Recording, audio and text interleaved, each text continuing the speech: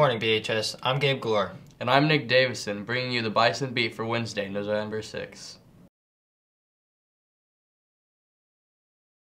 Today's lunch will be a beef patty, mashed potatoes and gravy, green beans, fruit, and pudding.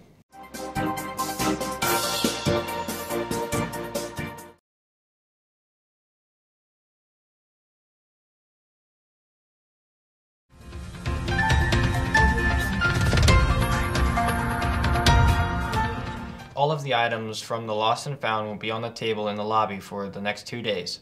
Please check to see if you have anything out there. Items not claimed by the end of the day Thursday will be taken to our Buffy's Bodega. FBLA meeting during both lunches in Mrs. Egan's room. Come enjoy the baked potato bar. Friday is picture retake day. You may pick up a form outside the office. FFA is holding the chapter barn warming November 8th at Market 116. It starts at 7, ends at 9:30.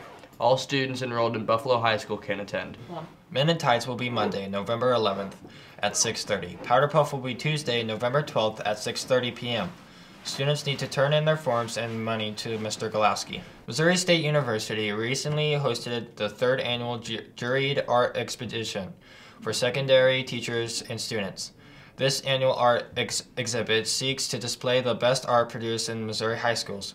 Works of art on display were selected by a panel of judges.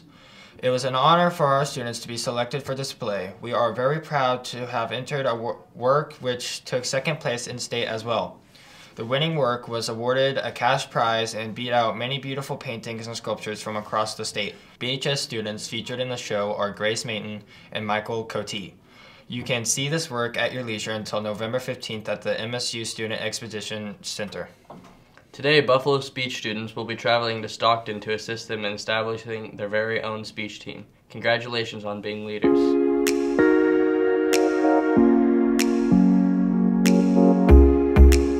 Quote of the day Start where you are, use what you have, do what you can. Arthur Ashe. Have a wonderful day, BHS.